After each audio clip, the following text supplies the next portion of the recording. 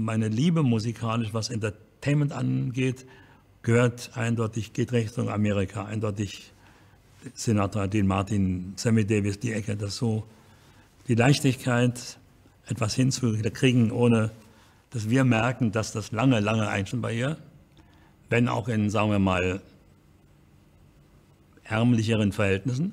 Einmal in der Woche gab es dann das Fleisch und das war bei uns immer am Freitag, war immer Wäschetag und da mussten wir alle fleißig helfen. Und am Ende gab es dann Hackepeterbrötchen. Das kennt kaum noch jemand. Hackepeterbrötchen ist eigentlich fettes Schweinemett, was so wollte ich sagen, aber damals äh, mit frischen Brötchen an Hochgenuss. Ne? Also das schon, es gab eben nicht immer alles. Ja. Das war eine große Familie. Wenn wir Geburtstagsfeiern hatten, waren das wirklich also eine Großfeier, wirklich mit 40, 50 Leuten.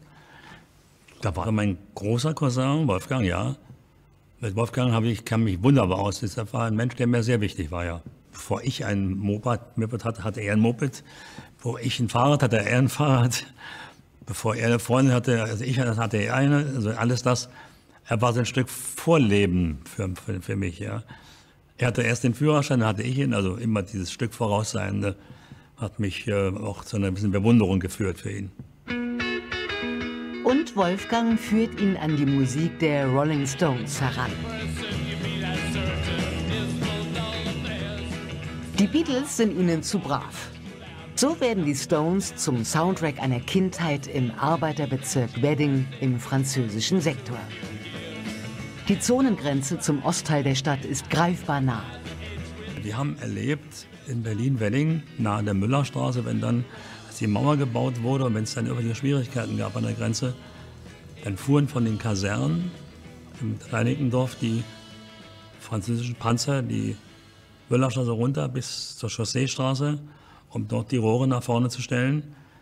Wir wohnten ja so nah an der Chausseestraße, am Grenzübergang, dass logischerweise auch welche auf der, jetzt dann auf der anderen Seite gelebt haben, die vorher noch leicht erreichbar war. Man bist halt mal 100 Meter weitergelaufen, aber das ging nicht mehr. Also dieses Erlebnis war, war schon erklärenswert für meine Mutter. Das, also sagen, warum ist das jetzt so? Und dann wurde ihm erklärt, da drüben ist dann der Russe und der hat jetzt gesagt, das muss so gemacht werden. Ja? Das war die einfache Erklärung der Menschen. Und noch etwas muss ihm irgendwann erklärt werden. Warum seine Mutter gar nicht seine leibliche ist. Auch das erfährt man, dass man nicht die leibliche Mutter hat äh, von seinen Klassenkameraden.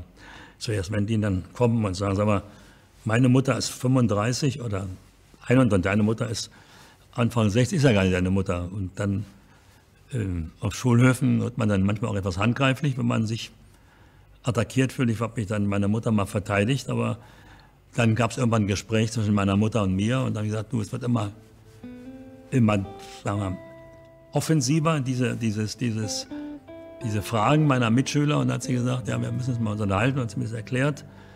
Und dann war es gut.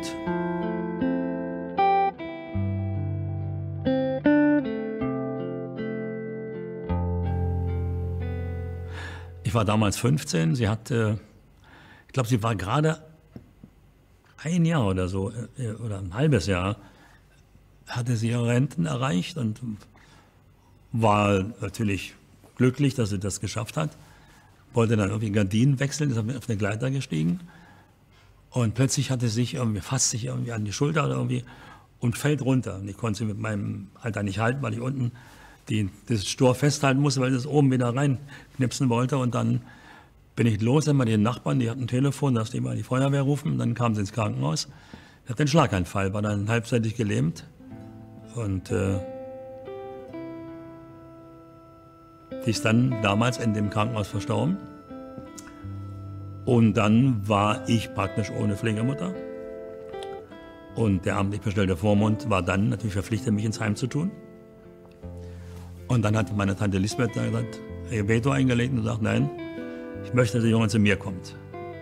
Und dann bin ich dann diese paar Kilometer von der Buxterstraße hoch in die Wohnung gezogen, wo dann im Telefon Balkon und äh, Badezimmer da war. Und ein eigenes Zimmer für mich. Das erste eigene Zimmer.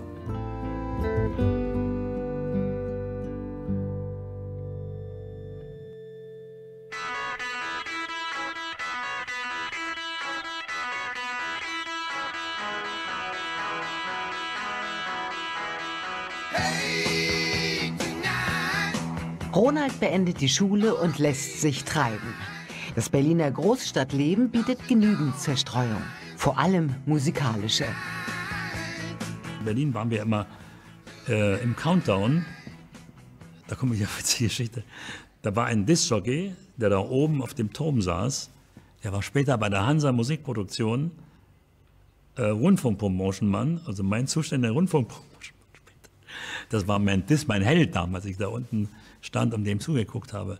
Der hat den Mut bewiesen, Frau Rosenberg nach äh, Cleveland Clearwater Revival zu spielen.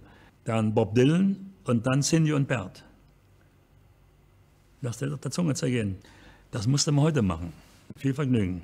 Dann kam Thomas Meisel raus, dieser große Produzent hier aus Berlin, und sagte, mein Name ist Tommy, komm da mal bitte mit rein. Und in sein Büro rein, in dem ich später hunderte Male war. Und dann sagte er, würde ich dir gerne einen Dreijahresvertrag anbieten. Ich sagte, oh. Da haben wir uns geeinigt, habe ich dann noch am, glaub, am 23. Dezember sogar unterschrieben, den Vertrag. Also der Herr Meisel meinte dann zu mir, also Ronald Keiler, mein lieber Ronald, das geht gar nicht. Das macht keinen Sinn. Also offensichtlich, Ronald ist auch kein Deutscher, da bricht sie dann mit Ronald, ist eher so ein englischer Name. Und Keiler, bitte ein männliches Wildschwein, das geht gar nicht.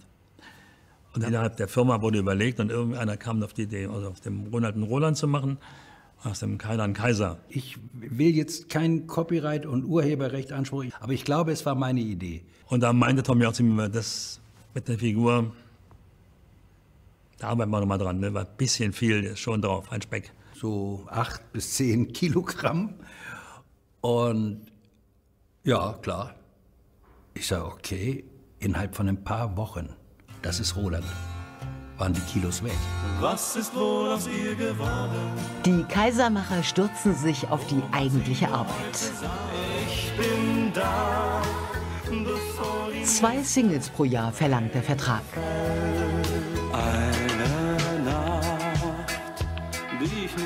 Und der Automobilkaufmann Kaiser liefert. Jane, oh Jane, für einen von uns beiden.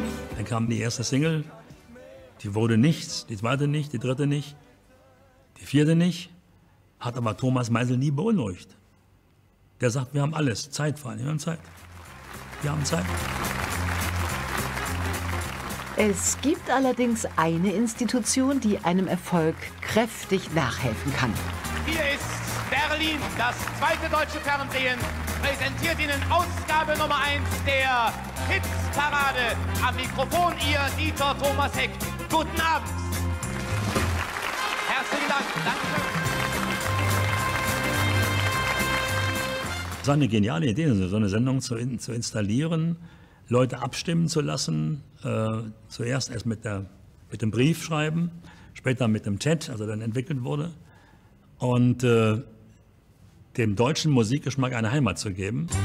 als der Hitparade dann kam, ähm, war ich natürlich eine kleine Engländerin und war ein bisschen Außenseiter. Und der Turk Brands war der Regisseur. Und der Turk Brands hatte dann, wenn wir unsere Proben gehabt hatten, saßen wir alle so hinter der Bühne und haben ja dann, also hat er mit uns diskutiert, wie wir aussehen und was wir zu tun hatten. Und er war ja ganz, ganz hart. Wie gedenkst du eigentlich hier aufzutreten, nach dem Motto? Dann kam oft der Kommentar von oben, zieh das wieder aus, fahr in die Stadt, zieh dich um. So ein vernünftiges, ihr kennt jetzt keine Karnevalsveranstaltung. Und irgendwelche Sprüche kamen dann. dachte ich, ey, das ist nicht lustig, das machst du nicht mit. Bei mir war er immer sehr lieb. Ich weiß nicht warum, aber er war immer lieb zu mir. Hatte ich nicht dieses Problem. Der Kind trägt einfach Anzüge, ist Ruhe. Da kann er nichts machen gegen. Anzug ist ein Anzug. Regisseur Truck Brands ist zufrieden und der Kaiser hat sein Bühnenoutfit gefunden. Den Anzug. Darin wird er in Zukunft immer seine Auftritte absolvieren. Steigendes Lampenfieber nimmt ihm der Anzug jedoch nicht, denn die Konkurrenz ist erdrückend.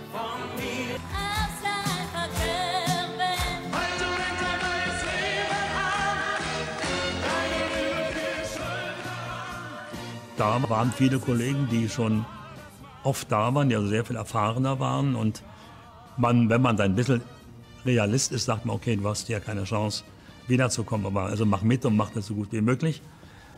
Also ich habe sicher nicht, nicht gestrotzt vor Sicherheit. Weiter mit der Startnummer 9, meine Damen und Herren, neuer Name, Roland Kaiser. Du sitzt ja plötzlich mitten zwischen Leuten, dann bringt er das Mikrofon mit so einer Schnur dran, dann musst du loslaufen, nicht fallen über das Ding. Live singen, den Einsatz nicht, weil ein Einsatz verpassen ist Feierabend. Das ist alles nicht so lustig. Eine Nacht, die ich nie mehr vergessen kann. Ich habe gearbeitet. Ich hatte ja meinen Verdienst, meinen, meinen Job. Und.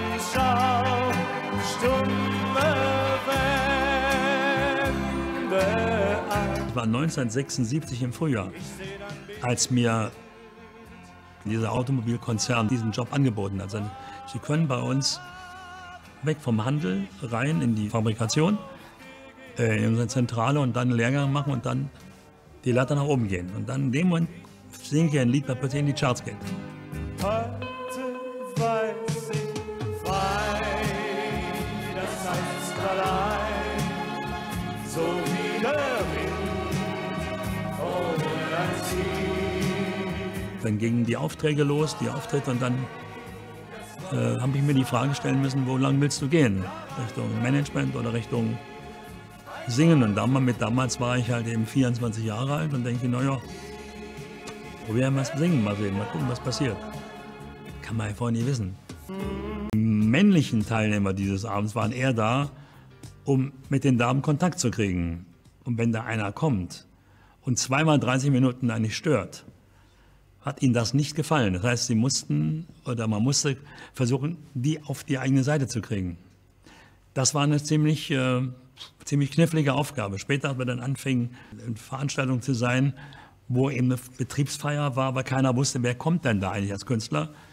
Da sitzen ja nicht ein, zwei oder 3000 Roland Kaiser-Fans, sondern Mitarbeiter einer Firma. Und die, wenn vielleicht wären vielleicht eigentlich Peter Alexander-Fan oder das, und dann kommt man da um die Ecke gebogen und auch die muss man versuchen, von dem, was man kann, zu überzeugen. Zu überzeugen versucht Roland Kaiser auch auf einem anderen Gebiet, dem Tanzen. Professionelles Tanztraining gehört zur Optimierung eines Stars. Rausholen, was geht. Milton Jones, der kam aus Amerika, hat dann am Broadway da irgendwie getanzt, hat hier eine Schule aufgemacht in Berlin und brachte Leuten Jazz-Dancing bei. Ich dachte, okay, mir da ein Ticket gekauft, glaube für 500 Mark, um mal zwei, drei Monate tanzen zu lernen. Ich glaube, nach der dritten oder vierten Stunde kam er zu mir und sagte, er würde mich gerne sprechen. Ich sage, warum? Na, ist jetzt nicht so für einen Leuten, wir gehen mal in mein Büro. Dann sagt er, hier, ist du dein Geld wieder. Ich möchte dich bitten zu gehen und komm nicht wieder, Ronald.